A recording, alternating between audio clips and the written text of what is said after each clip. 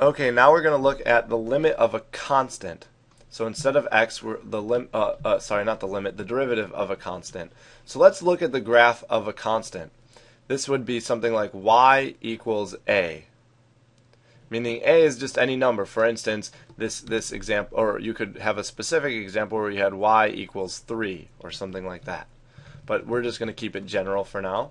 So y equals a. So this is what the graph would look like, and this is the a. So the height of this graph, you can think of it as being a, this the, that height. And a could be negative, so it would be down here. So here, I guess we're assuming a is positive.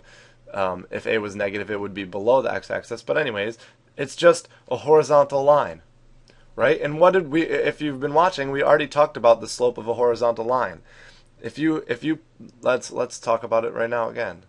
If you pick two points to find the slope of this line, you'd have this would be x1, x2, or sorry, y, x1, y1, and x2, y2.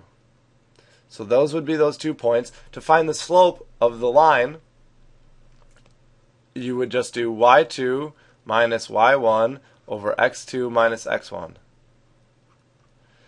And what happens? Well, the y values are the same. They're just a both times, right? We already said the height of this whole thing is a, and it's the height isn't changing. So y2 and y1, the heights are both a. So what we end up with is this is equal to a minus a over x2 minus x1. x1. And what this ends up being is 0 over the difference in x. So over x2 minus x1, and and that and x2 minus x1 isn't zero because the, these are real x values. x2, x1, they're different numbers. So when you subtract them, they won't equal zero. But zero over any any number is besides zero. So zero over this is going to equal zero.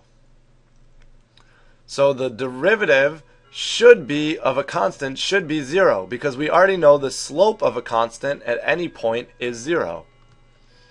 So let me let me show you that then. We just figured out the slope of a constant is zero, so the derivative d dx of I'm just going to call it a, meaning any constant, like and and a constant is just a number. I hope I hope you you realize that that term just means a number like 1, 2, pi, 3, 100 million, it doesn't matter.